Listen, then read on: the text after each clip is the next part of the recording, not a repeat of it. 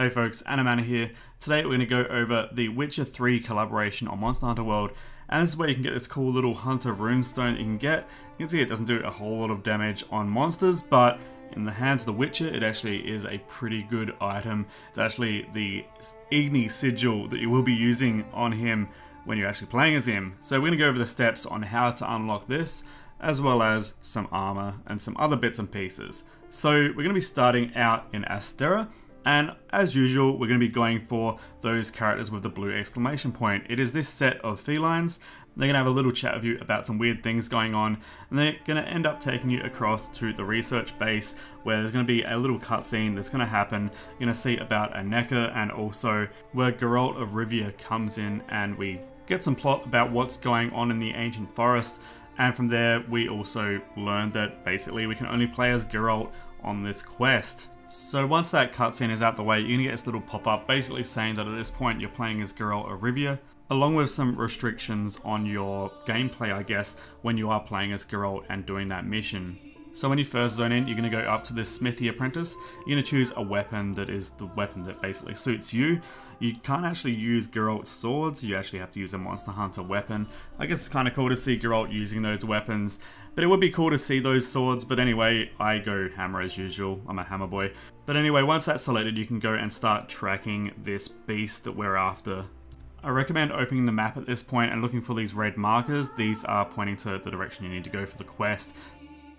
So first up, I'm going to the Endemic Life Researcher, and we're going to do a little bit of the typical Witcher investigation on this creature. Just to note, this quest does have multiple parts and multiple little missions within the quest, so I do recommend taking your time on it. I'm just going to be going over the main basic points of the quest, or the big overarching quest, so that you can get through to the end, and then from there, you'll be able to actually access this quest and go and do it slowly, bit by bit, in your own time. So once you've done chatting with that character, you're going to go and find the Aptonoth and you're going to have these ravens or the revoltures around them and you're going to go and use the Igni sign on it and you're to get some cutscene going over what's been happening and why it's a little bit weird. And then once you've had that little discussion, we're going to go and look for the next person. So the next person is the botanist, and we're going to be doing quite a bit of tracking with this character. We're going to look for two books, and then we're going to start seeing some vines or some roots that have been tangling him up along the way. So eventually you're going to come to him, have another chat with him, just typical Witcher style, I guess, questing and discussion. But once you've done this, we can then go and start to track the actual Leshen. It is worth noting at this point there are some, I guess, inscriptions around the place that you can investigate and continue on another optional part of the quest, but at this point, as I mentioned, I'm going to be focusing on fighting the actual Leshen, but do check out the whole area as there are a bunch of side quests that are worth checking out and you're actually going to get a good reward if you can complete them all. Once you've decided to progress on the quest, we're going to look for this totem here and it's going to be marked on the map as with any of the other parts of the quest you've seen so far. We're going to get ambushed by a whole bunch of the Jagras, and then after we've dealt with them, we can then start fighting the actual Leshen creature. So you're going to get a cutscene and you're going to see this creature appear, which is basically a Wendigo or a Skinwalker or something like that. It is worth noting that as this is a wooden creature, it is going to be weak versus fire. So fire actually stuns it as you can see here. This is going to be your best chance to get some attacks in. But just so it's not overpowered, the Igni sign does actually have a cooldown that is actually pretty long. This will also get rid of any of the big roots that the Leshen will put up. But if you don't have the Igni sign available, you can always walk around the roots and then get behind him, as he will just basically pop it up as a frontal kind of cone area in front of him. Otherwise, he also does an area of effect attack with these roots, so you should watch out of those if you are close and he is reaching into the ground. Another thing to watch out about when you are close is that his claw attacks do put the bleed status on you, which can get a little bit hairy when he is sending the revoltures out towards you as a projectile. So just, I guess, watch your zoning, have an ancient potion or something available so you can quickly get your health back also. But aside from that, just keep wailing on him. Uh, he's going to change his location every so often, and he does have a teleport too. But eventually, you're going to get him down, and also you can loot him. I guess skin him or strip him of bark, and you get his skull.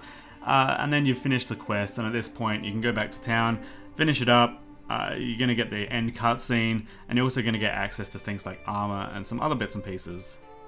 As I said earlier, it will actually become a special assignment, so you can go and do this over and over. And it, as it does say on this tutorial, that you can actually get some extra titles by going through and doing all the side quests. You can actually apparently get different endings as well, so it's definitely worth running this a few times to get the maximum out of it.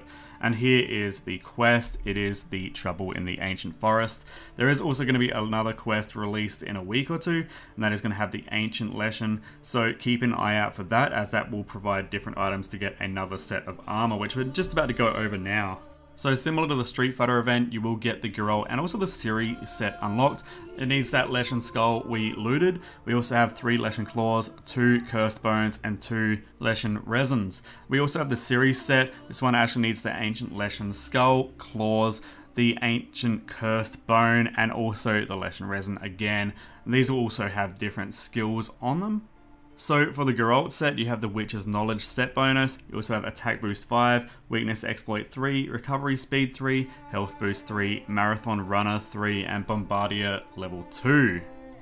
And then for the Ciri set, we have Evade Window 5, Free Elem Ammo Up 3, we have Attack Boost 3, Divine Blessing 2, Evade Extender 2, Constitution 2, and we also have Razor Sharp Slash Spare Shot Level 1. You'll also get the Hunter Runestone as a gift from Geralt, which will allow you to do the Igni sign, but a very weak version as I showed at the start of the video. So having it in your inventory, you just press the square button if you select it. It's going to do pretty weak damage. It has a pretty, I guess, a quick cooldown, but with the damage it's doing, it's not something you're going to be using over and over. As you can see, I'm wailing on this monster with that spell, and it's pretty much doing nothing. It's not even going into weak status, so it's not really worth it. It's just more of a little fun tool to have. If you go over to the research center, you're going to be able to talk to the provisions master and they're going to give you a bounty to go and capture a Nekker so that you can get one of those for yourself and also so that you can get some equipment in that style for your Palico too. So that's actually pretty cool there. And just to finish up, because I didn't really show, here is the login information from this period with the Witcher Wild Hunt Special collaboration being available. So just as a, I guess a, a historical reference, there you go. So I hope that video was helpful. If it was, maybe consider giving me a thumbs up on this video. Otherwise, if you do want to see more videos of me doing Monster Hunter guides or some other games such as Anthem coming up or even God Eater 3, do hit that subscribe button and the bell to get notifications of when my guides go live. Anyway, there is a lot to this quest, there may be some bits and pieces I have missed. If you do believe I have done so, do pop them in the comments below to let everyone know about some of the extra bits to this quest as I'm sure people will be looking for that information. Anyway, I'm Anamana, I hope you enjoy the rest of your day, morning, evening or night, wherever you are in the world, and I'll catch you next time. I hope you have a good one.